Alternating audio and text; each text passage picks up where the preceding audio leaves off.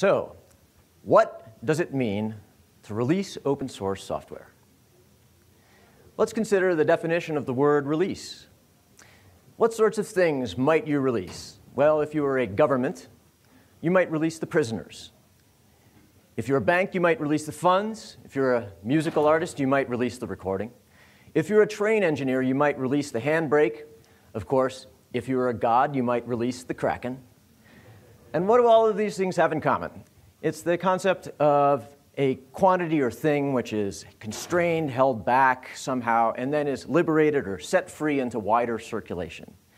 So when we speak of releasing the software, what we mean is that during development, the number of people who have access to that software uh, is limited. It's the development group. And then after release, the uh, software is available to the wider public.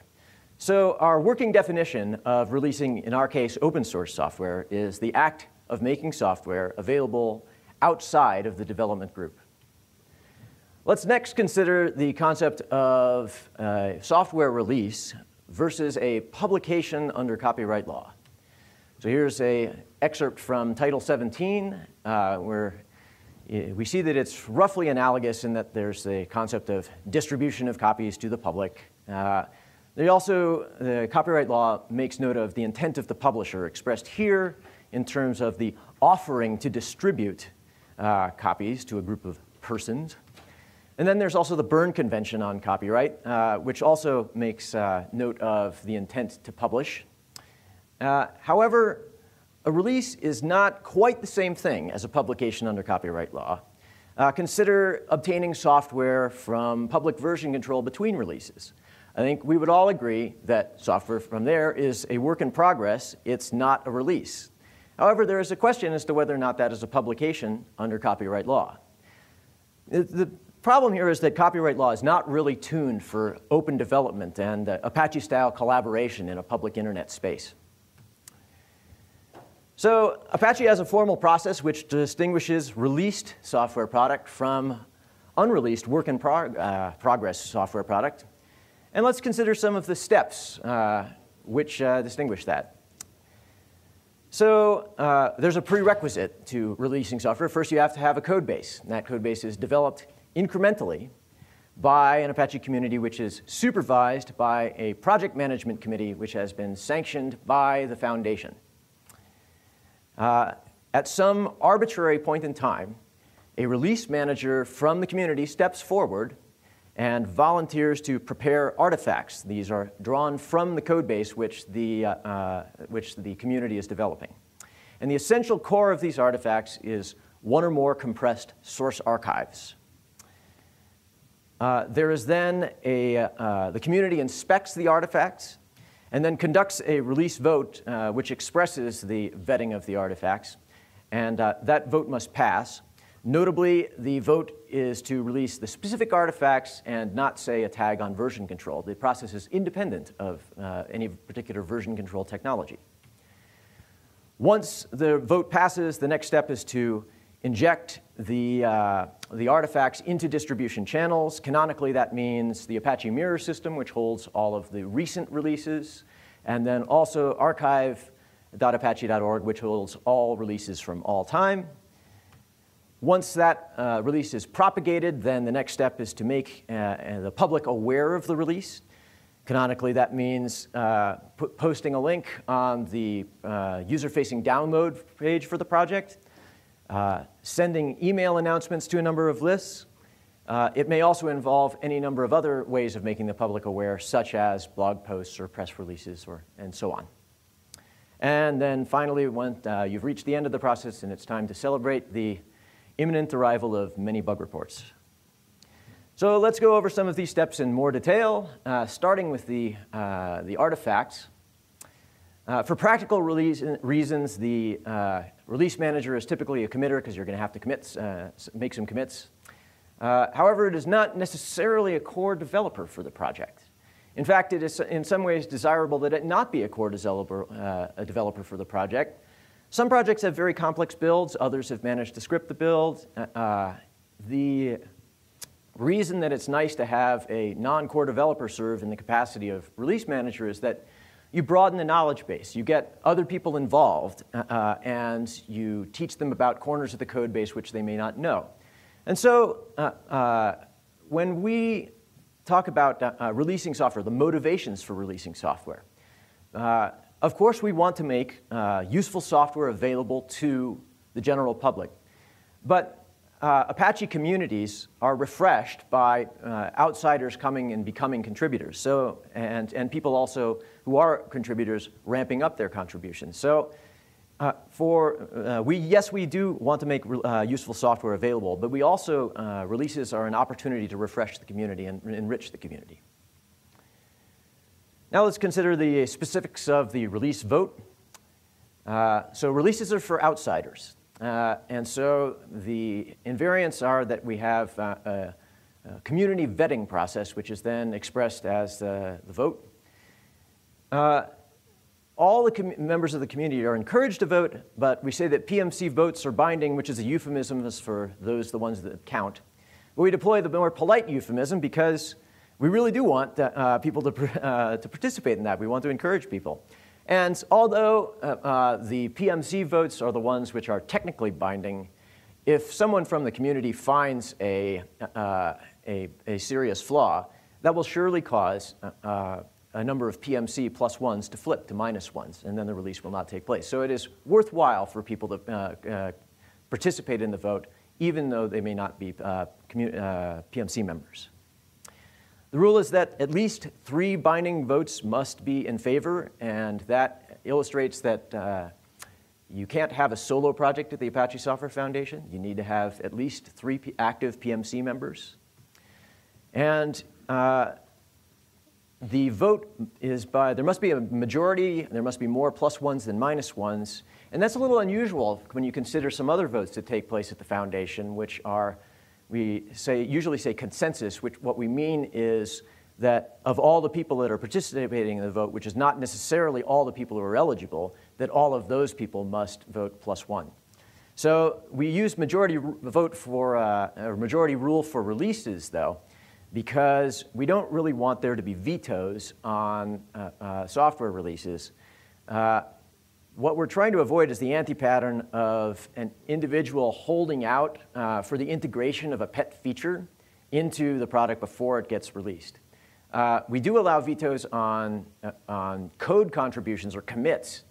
And so, uh, but when it is time to actually release the software, we want to, we, the people who, who uh, created this policy determined that this was the best way to keep the communities healthy.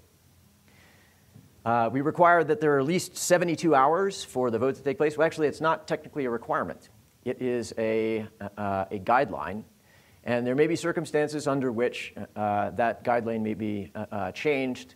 Uh, I actually have not seen that myself. I, I suppose that theoretically it actually is for, say, a fast moving security release, for example.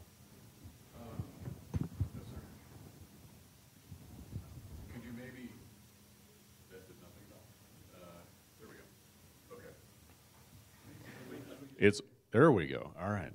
Um, to me, it seems like. Can you explain the difference? It seems like a very subtle difference between not vetoing a release and not and being able to veto a commit, because a commit is on the way to a release. So, um, or it could be on the way to a uh, to a release. So maybe explain how those things differ because it seems very subtle to me. Well, notably, all of these circumstances are actually pretty rare. I mean, you don't a, a, cont a contended vote uh, release vote is something which only happens once in a blue moon in Apache. I'm, I'm not even sure I've actually seen a contended release vote pass.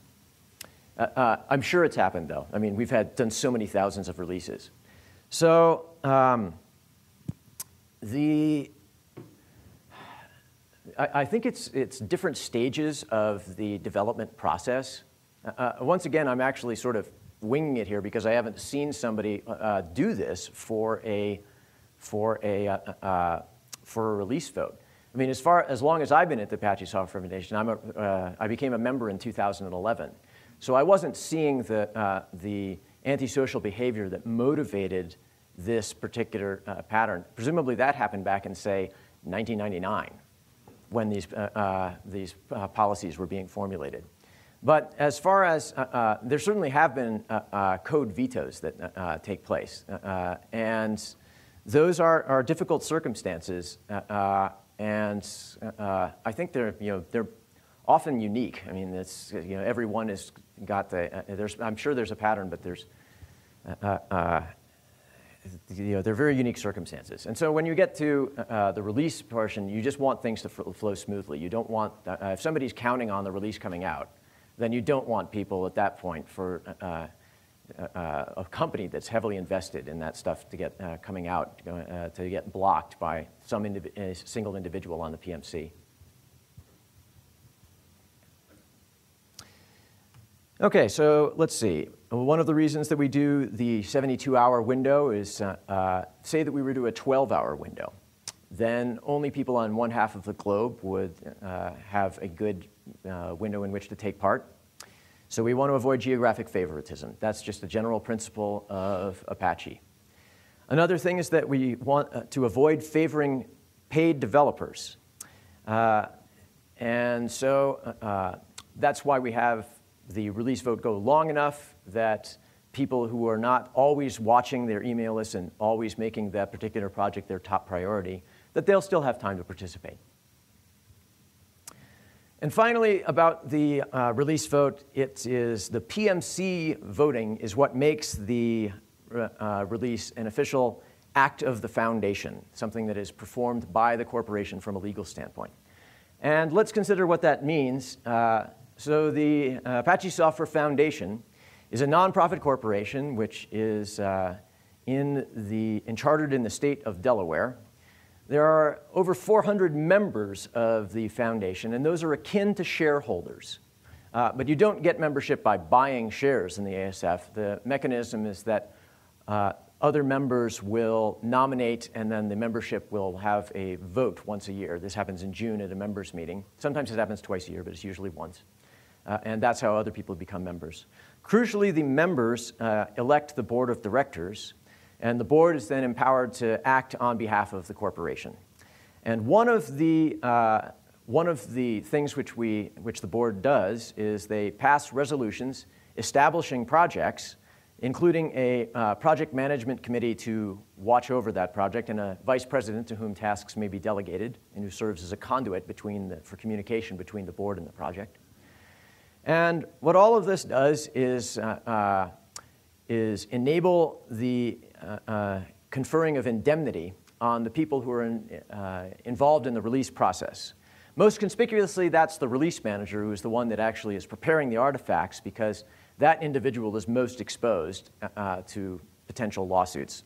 But it also can include other PMC members taking part in the vote or potentially others as well. Now, admittedly, that is a fair amount of bureaucracy in order to achieve the indemnity and uh, maintaining that corporate structure uh, and keeping all the records up to date. There's a lot of I's that must be dotted a lot of T's that must be crossed. And meanwhile, out in the wider world, and a lot of open source gets released independently without the benefit of a foundation. So it's worth asking, why do we uh, uh go to all this trouble? Or, put it differently, what could go wrong? Well, let's consider a potential infringement scenario. Uh, so you, somebody files a bug, and then are, it's requested that they attach a sample case. And so they do so, and then uh, that sample case is integrated into a, a, a, Apache product, and I think you know what's coming. Uh, so once the uh, release is made, then the PMC is voted for it. It's an act of the foundation. There's no going back. It's a done deal. Well, as you might expect, it turns out in this case, the individual who supplied the sample case to the bug report was uh, uh, not the owner of that intellectual property. And so uh, the copyright showed up on, owner showed up on Legal Discuss, and it turns out that that particular document was not available under any open source license, and so that copyright owner had all remedies available to them under copyright law that they qualified for. And this isn't theoretical. This happened a few months ago to Apache POI. Now, uh, in this case, it was settled without uh, escalating to a court case. Uh, but that's not really something we want to count on. Because consider that not all open source uh, intellectual property disputes are resolved amicably. uh, Google versus Oracle, which involves, of course, Apache Harmony, so it hits close to home. There's all the SCO Linux, the forest of lawsuits surrounding that. There's the uh, uh, AOL's dispute with Gaim, uh, the instant messenger, which is now Pidgin. Uh, that's, so that's a trademark dispute. And then, so we've got copyright and trademark, and then if uh, you work in the search space like I do, you've probably encountered patent trolls with regards to uh, faceted search. There's one who's going after everybody they can for that. So we've got all aspects of intellectual property can result in, in, in, lawsuits. And the thing is, this does happen, or there are lots of, there's lots of open source that gets released and there's no consequences. But when somebody loses, somebody loses big. Uh, so it is a low risk but high cost scenario, and uh, deep pocketed companies who may be sponsoring development at the Apache Software Foundation, they greatly value this indemnification uh, process because if it is their employee who is serving as release manager, uh, and then they're on the hook if something goes wrong. And uh, so they would very much prefer to have the indemnification provision. And in fact, that's part of the Apache brand from the standpoint of people who are looking to invest in open source developer time, uh, which, as Mark Hinkle said at yesterday's keynote, is increasingly the norm for uh, how uh, development is done in open source. So the Apache Software Foundation has a reputation for a certain level of diligence with regards to handling intellectual property which along with our governance model, uh, uh, our known governance model, uh, uh, which is probably the least worst way to have competitors collaborate on a common code base, uh, and our stability and our longevity, makes us a known quantity and a sa relatively safe place to invest in sponsored development. And that yields a competitive advantage in the race for open source uh, development hours, which once again, the contributor hours are what are the lifeblood of any open source project. And so uh, there are plenty of independent projects, GitHub source, on SourceForge or any, uh, lots, lots of places that are also great and that are also equally diligent with regards to intellectual property and uh, perhaps have even uh, great governance mechanisms and so on. Uh, but from the perspective of someone who's looking to invest in open source, it takes research and time to deliver uh, to determine which of those projects are suitable for you Whereas if you know that a project is branded as Apache, there's a certain amount that you already know about it. So it's less expensive to assess uh, the viability of a project you might uh, invest in. And uh, that's why the members of the uh, foundation, who look after the foundation as a whole, and the board of directors, are determined that uh, every project at the Apache Software Foundation will exercise a base level of diligence. Because if a single project is actually allowed to violate those rules, then that uh, damages the, uh, uh, the reputation of the foundation as a whole. Let's now consider the uh, criteria by which people are supposed to judge uh, a release candidate, whether voting yes or no. Well, it turns out that's kind of hard to figure out. We have an awful lot of documentation. Uh, there is, and it's sometimes contradictory, we have, there is an official release policy page that you'll find under www.apache.org slash dev slash releases.html. Uh, and then we've got, in addition to that, we have all of the documentation that the Legal Affairs Committee maintains. Then we have the incubator website, which was one of the only things that Shane Curcuru could find that was hateful at the, at the ASF at last night's uh, uh, uh, uh lightning talks. Uh, and then we have infrastructure documentation, which refers to things such as uh, how to manage your GPG keys, how to upload stuff to, to dist.apache.org, and the mechanics of releases, which is something quite close to policy or policy. So uh, there's a lot to take in. And something else that is uh, worth bearing in mind, if you look at the history of the releases policy page, it was originally the releases FAQ. Uh, and so that document evolved organically uh, because go back to the early days of the foundation when there were far fewer projects. Well, it's less important that uh, policy be codified carefully when there are, are only a few number, uh, small number of projects because the people who have laboriously developed that policy are never too far away. Uh, but these days we have a somewhat larger core of people that understand policy, but a vastly expanded periphery of projects that are some ways quite distant from the people who know the policy intimately. And so for those people who are out there on the periphery, there's sometimes discovering policy in the forest of uh, uh, documentation can be a large cost. And that releases FAQ, uh, FA, the releases policy maintains an FAQ style uh, to this day, which is somewhat verbose, imprecise, and hard to interpret, and also subject to the phenomenon of policy creep, where somebody adds an FAQ to the list, and then later someone interprets that as policy, and then there's an argument as to whether or not that actually is policy or is not.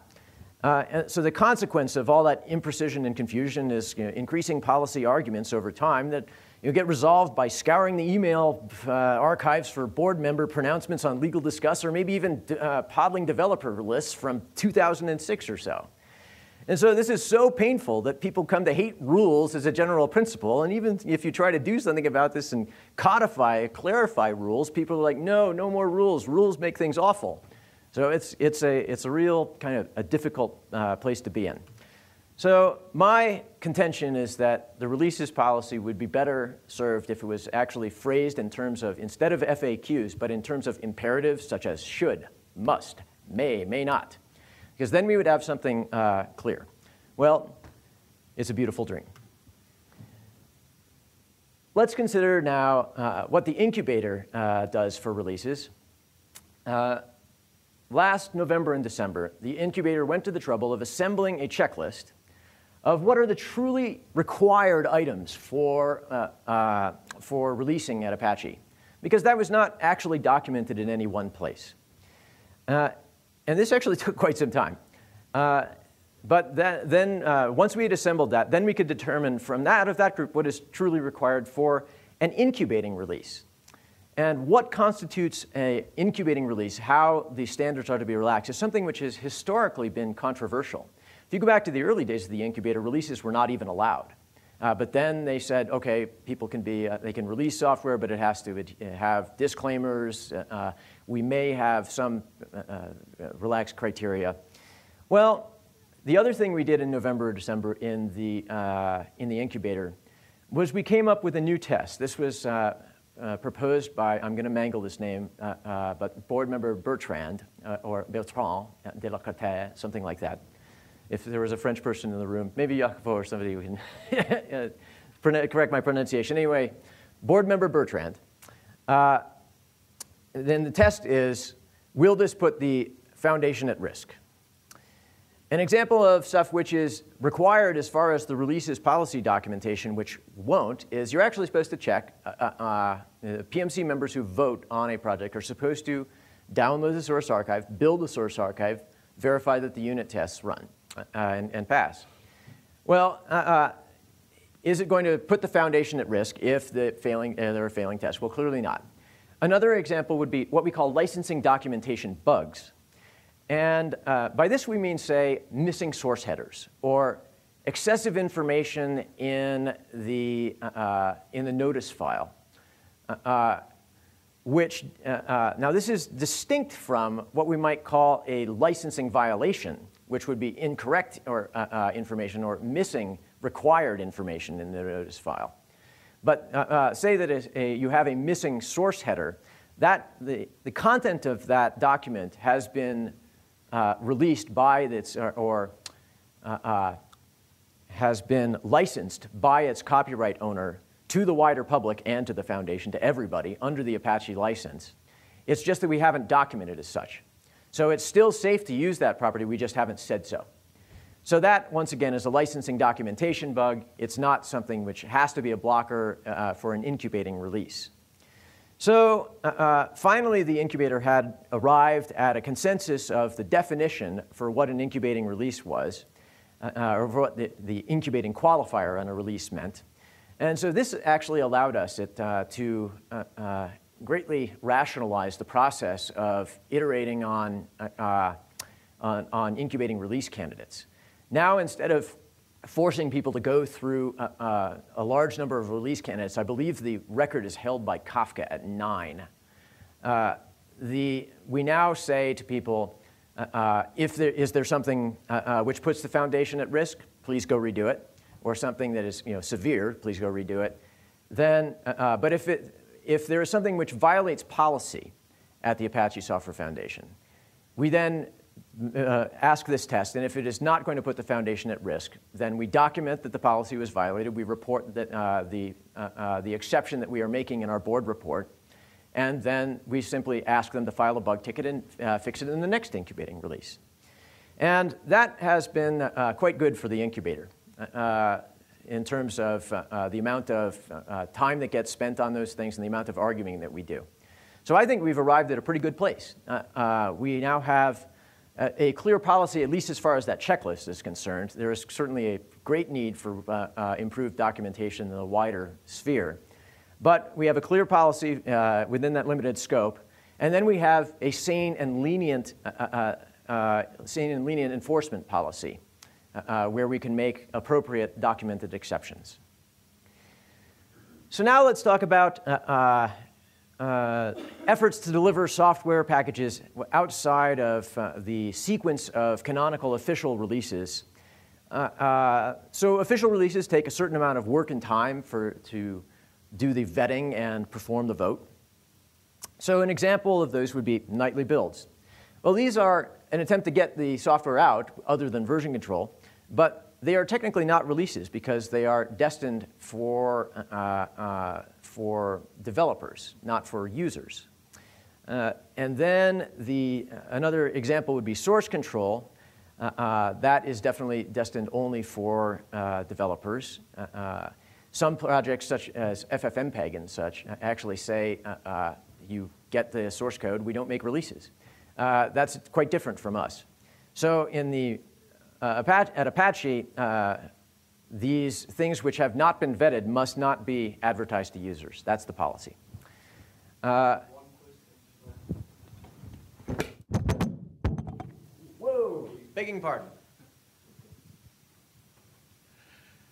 When I represent or I'm part of Open Office, we use beta versions which go out to end users, and we have had severe discussions how do we see a beta version? Because it's a non-release, it hasn't gone through the normal unit testing, but we want the opinion of our end users before we cut the final release. So what's your op opinion on that? Uh, the, uh, uh, so I'm not in a position to enforce policy on that. Uh, uh, the official line on that would be that those are, if they have not been voted on, they are not releases. Uh, and therefore, the policy is that they are not supposed to be provided to end users. Yes? Yeah, so, there, so with Open Office, we, we have two things. We have release candidates and we have betas. The beta actually has a PMC code. Great. It didn't go through the QA process. I think that's a case of what protects the foundation and what doesn't. But then it would be very desirable for a release candidate to also have some input for users.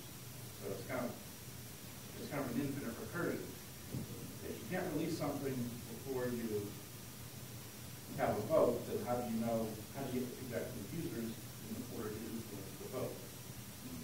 Yes, and that makes a great deal of, you know, that is a, uh, this is always an uncomfortable policy at the ASF, and for open office, I'm sure it's more uncomfortable than most others because of the vast uh, uh, uh, uh testing requirements of all of those and the uh, vast number of uh, uh, ultimately binaries that go out. So I understand exactly what you're, uh, uh, you're getting at there. And I don't discount that that is a, you know, the policy is uh, uh, perhaps not ideally suited to, to open offices needs. but it's also true that other projects sometimes chafe under this policy as well. I mean, people have wanted to get out nightly builds to their users forever. it seems like you folks are being quite conscientious about it. and so I hope that we, uh, uh, that, that things are at least adequate now, uh, uh and we can work towards improvements as time goes on. So let's uh, actually now talk about another way of getting uh, releases to people more quickly. A related topic is continuous delivery, and this is a, arises from a desi design discipline which is highly appropriate for web applications, and I'm actually going to address uh, continuous delivery in the context of web applications before we get to open source. So the primary uh, uh, uh, uh determinant for uh, continuous delivery is that the main line is always kept ready to release. You typically do development in uh, feature branches, and they are merged only after sufficient uh, uh, testing to the mainline only when ready. So instead of adding features to the mainline and then working out the bugs uh, in advance prior to a release, you instead keep the mainline always ready to release. And then that makes for, and then you release more often. And if you release more often, that means that there are smaller deltas between the releases, and that makes for easier troubleshooting because the surface area, which is subject to bugs, is smaller for any given release. So it makes it easier to isolate uh, what went wrong when something goes wrong. Now let's distinguish between what is called continuous delivery versus continuous deployment. And to a certain extent, these are just arbitrary terms which have arisen. Uh, uh but continuous delivery in the, uh, uh as far as the uh, buzzword definition of it goes, is that it is always ready to release. Whereas continuous deployment means actually every time that you hit commit on master, it gets shotgunned out to your, uh, your servers. We actually do that where I work. we do continuous deployment. Uh, and that has a lot of advantages in terms of uh, having a, uh, all the troubleshooting and stuff like that. Uh, uh, however, uh, well, and then to continue on to that, one, introduce one more vocabulary word here. Sometimes the people in the continuous delivery and the DevOps movement speak of cadence of releases, by which they mean the speed at which releases are made. So high cadence means making a lot of frequent releases.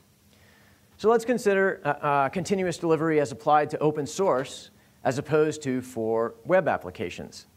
Well, one of the things is you can't really, in a, in a web application, you control all of the, uh, the end installations. And so if something goes wrong, it's quite easy to correct it by just saying, oops, revert that, send it right back out. That's not quite so easy to do for an open source because uh, uh, that has been, you don't know where all the end user in, uh, installations are. Another thing is that uh, open source just naturally imposes a uh, slower cadence on that. I mean, you're not going to release every uh, uh commit uh, uh, unless you're FFmpeg. so there is, however, a flavor of continuous delivery which is appropriate for open source, and that's releasing on a schedule. And that schedule might be once a month, might be once a week, uh, Perl 5 uh, releases uh, development version once a month and then releases a, a, major release once a year and then occasionally as necessary bug fixes. So that's another, there's a little, there's lots of different ways to do that. Jenkins also releases uh, uh, uh, once a week and then makes, also maintains a stable branch in addition to that. So once again, you have the release-worthy mainline. Once again, that's a discipline that is required for this. the community effects of this are that uh, less work is, is necessary in the run-up to each release. You don't have this situation where you develop, develop, develop, develop, develop, and then you have to get it to work on all the platforms right before the release, and so you have to work out all the bugs. Uh, and uh, this is actually somewhat controversial. Uh, some people at Apache, we had a discussion about this recently, and some people uh, feel that that's an opportunity for the community to come together uh, a lot of the people that actually do this kind of uh, discipline uh, uh, have the opposite take, which is that that's something that they would rather avoid and they're happy to see gone. And so they find that having a release which takes much less effort every time actually winds up having harmonious community effects. So this is something which is an, a topic of discussion around here these days. Oh, another thing that, that uh, the communities that perform continuous uh, or fixed cadence releases in the open source world appreciate is that uh, it allows them to be more responsive when people uh, uh, supply patches or bug reports. It means that when you have uh, when you supply a fix to a project, you can have a reasonable degree of confidence that unless something goes really wrong with one of the fixed cadence timed releases, that it's going to be out there within a, reasonable uh, amount of time. And so there has been a number of projects which do this. I mentioned Jenkins and Perl 5, Ubuntu, Firefox. There's a lot of others as well. This is been going on for uh, a few years now. So let's consider uh, fixed cadence releases at Apache. Uh, why not? Well, it turns out uh, there's really nothing stopping you. I mean, the only thing that, that differentiates fixed cadence releases is that you release on a specific date. So instead of having the release manager pick some arbitrary time at which they prepare the artifacts, the release manager can instead simply uh, start the artifacts, prepare them on the date that uh, was announced in advance. So uh, that being said, uh, we have a certain amount of release overhead uh, in terms of the vote itself, which takes 72 hours, and then the propagation of the uh, of the, the artifacts to the distribution system, which takes typically 24. And so that, if you try and do, say, weekly releases like Jenkins, then that's going to, now you're going to have a four-day delay built into every one of those weekly releases. And that maybe uh, you know, limits the tempo or somehow makes things a little less convenient. However, in my experience, there's been a couple of projects which uh, uh, have notably wanted to do this lately. And you know, if you have a really complicated build system and it takes a long time to even prepare the release candidate, then maybe the vote uh, is not necessarily the thing, uh, uh, which is the, the, long pole holding up the tent. So uh, finally, let's uh, consider the, uh, the case of binaries. the party line, the official rule is the Apache Software Foundation, is that the ASF only releases source code and that binaries are supplied by community members. And that has two meanings. It means that we don't, you're not supposed to have binary dependencies bundled in source releases. And you're also not supposed to have, uh, or that the, the ASF does not supply the binaries that are officially sanctioned by the organization itself. And we consider the uh, uh, rationale behind this decision. We consider uh, the quality control and the oversight that goes into source code. If you have release point A, and then uh, uh, you have in between release point A and release point B, you have PMC members following every commit that gets sent, uh, message that gets sent to the commit list. Then you can have a high degree of confidence that when you check that the uh, artifacts, the expanded artifacts for the release, you check that against a version control tag, that if that matches, then you can have a high degree of confidence that the release is the sum of all the deltas that you actually inspected, and that therefore, you although you are not able to uh, uh actually inspect the lines of every, source uh, every line of source code in the, in the release, uh, that you can still have a high degree of confidence that you've quality control, uh, checked that thing over a long period of time. The problem is that oversight mechanism does not work for binaries because binaries are not technically open source. They are the, or some would argue, that uh, they are the combination of open source uh, uh, files and a build environment.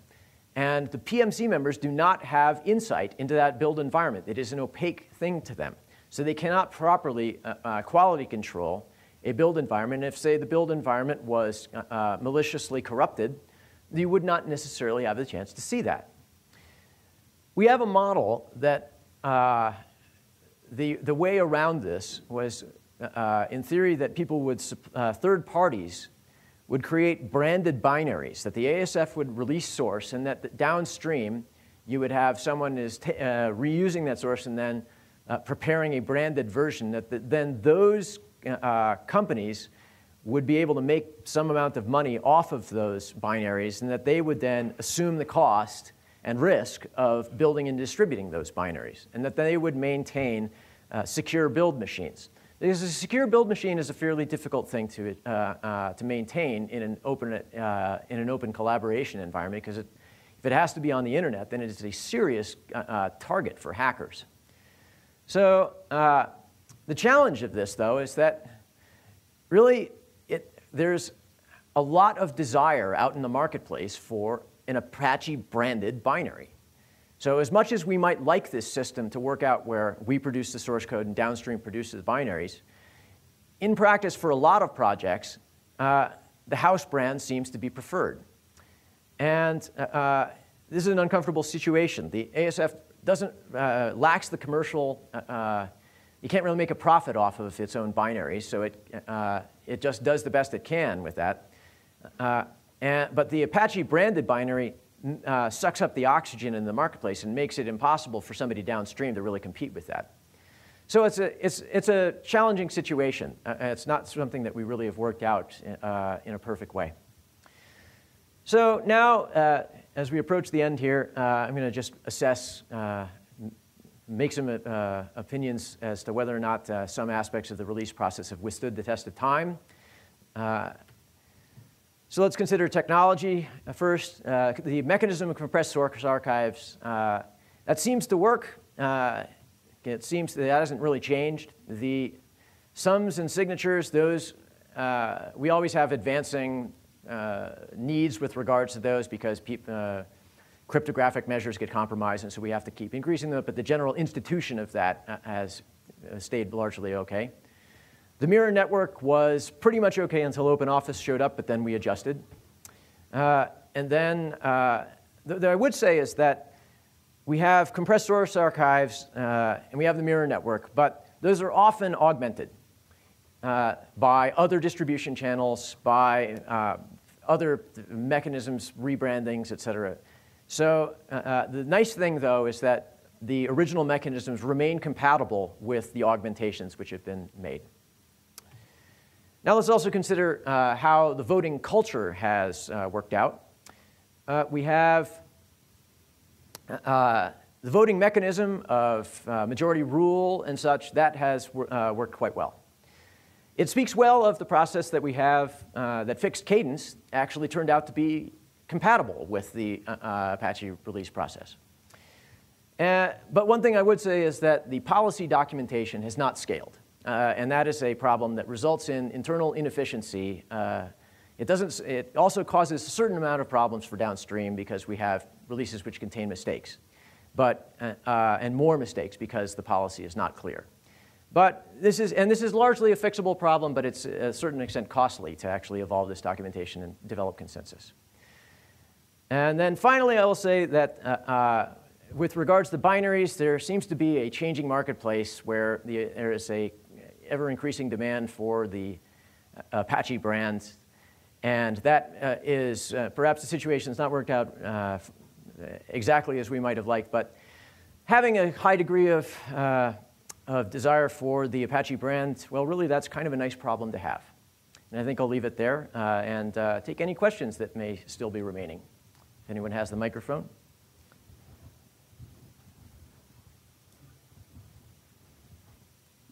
Um, so my question is just for si signing packages, you already if we, you know, we check that the zip file has all of the files in it that we expect, and we have the hash to make sure the zip file doesn't change for some reason. What, what is the point of signing it? Oh, uh, so uh, it is a stronger measure uh, uh when you, uh, so this is, this gets into PGP uh, and the web of trust. And I think that I will not be able to explain the web of trust. Uh, uh, I know it well enough to make use of it, but I would not consider myself an expert. Uh, there are a number of people here, uh, uh, particularly uh, associated with the infrastructure team, who will be able to answer that question as to why the PGP signatures are a stronger measure of confidence than the, sum, than the checksums. And that's what the infrastructure team uses when they want to verify a release. they, they use the, the signatures. Anybody else? Okay. Oh, well.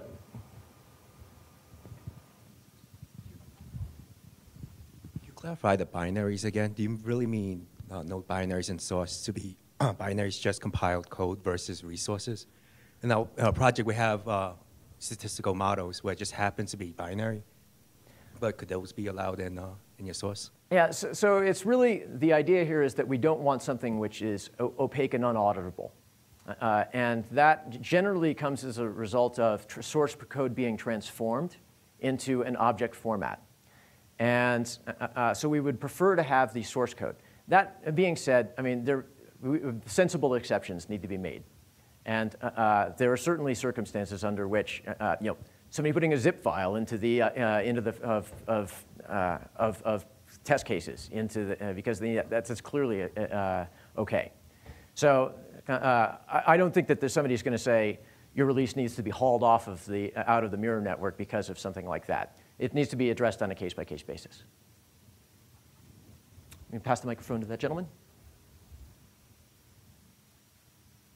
I want that I've also seen is where a distribution or the, where the, the source zip is also transformed into a packaging system that's then network hosted. So it's not a source zip, but it's not opaque either. So it's in, so in essence, if you have something that's scriptable like JavaScript or Perl scripts where you put it into um, uh, uh, a package repository, is that considered to be binary even though it's not opaque, or would there be concerns about doing something like that? So, yeah, so actually, the project that I work on does that because uh, uh, we release a canonical source. Uh, uh, this is the Apache Lucy project. It's a small uh, uh, uh, C slash Perl based project. And what we do is we actually have, uh, uh, when we take our sor- uh, canonical source archive, we then transform it and have only include only certain files for our CPAN release. That is considered downstream of the canonical source release. I don't think that there's, it's certainly, not, it's still a source release. It happens to not be the canonical source release that we vote on at the Apache Software Foundation. Does that sufficiently answer that question? i think so It- Sounds like bottom line is it's- it's a downstream release, but not necessarily considered to be a binary. It's, uh, the important thing is that the Apache cares about having a source release, which is then uh, uh, vetted and voted upon. And that is what ends up on a par- uh, archive.apache.org. That is the canonical thing, which is the act of the foundation. You can do any number of additional transformations after that. That has to be the choke point through which uh, uh, uh, code moves from the source uh, repository to the wider audience. Okay. Any other questions? Yeah. This is not actually a a release question, so more on the licensing side. So if a project depends on the third-party libraries, so uh, we include the notice uh, TXT, right? Notice file. I'm sorry, I'm having a little bit of difficulty understanding you. So you please say that again? Uh, So uh, what I'm saying is if the project depends on a third-party library, we include uh, uh, saying that it is, it is depending on the, on the third-party library in the notice file, right? Notice TXT. Yes, so you, yes, you say that you are depending on the, the library in the, uh, in the notice file, Okay. which is sometimes a requirement to, depending on the license Okay, they're so that has to be uh, maintained by PMC and uh, that is required before you make a release? Yes, the notice file for the source release must uh, accurately reflect the licensing of the source package. And it must only reflect the content of the source package itself. Uh, uh, uh, it is only the bits that are bundled that matter. But if there must be, uh, uh, this is something which we often get wrong in the incubator, or that projects often get wrong. It must reflect only this, uh, uh, the content of the, uh, of the artifacts themselves, and not something which has to be downloaded separately. Does that answer your question? So uh, my question is like, who should maintain that? The, the PMC should maintain it or? Yes, the community must maintain that. Okay. I think we are now out of time. So, uh, thanks very much, everyone. It's been a pleasure.